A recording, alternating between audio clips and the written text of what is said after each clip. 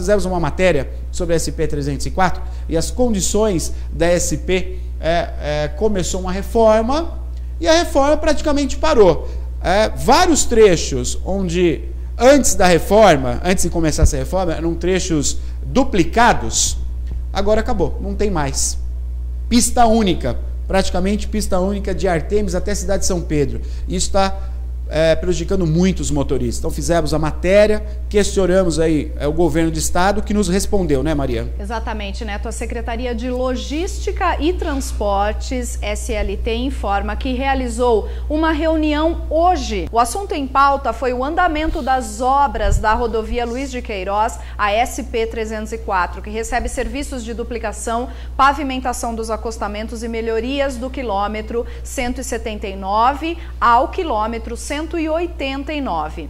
A SLT informou que a técnica Construções, responsável pela obra, deverá ter seu contrato rescindido, pois a empresa não quitou a calção de 2,2 milhões, valor exigido pela garantia do adiamento do contrato, que vence no próximo 25 do 9, agora em setembro. O prazo para efetuar o pagamento encerrou ontem, dia 8 do 9.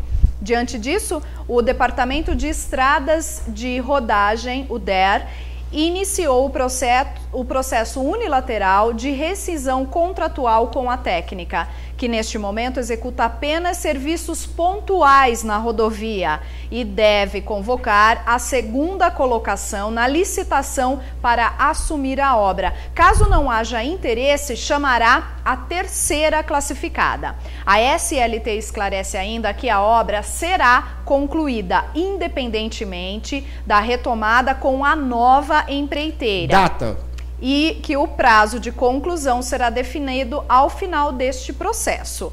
Paralelamente, o DER está fazendo nesta sexta-feira, hoje dia 9, vistoria na rodovia para melhorias na sinalização vertical e com isso garantir mais segurança aos usuários que trafegam na região. Olha, domingo vai acontecer um manifesto organizado por moradores das Exato. duas cidades, tá?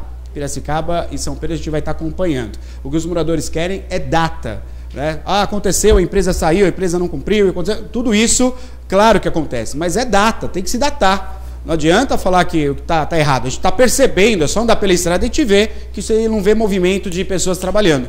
Então é óbvio isso. O que a gente quer saber é a data de conclusão dessa estrada que anda prejudicando muito aos moradores. A gente vai estar acompanhando esse manifesto.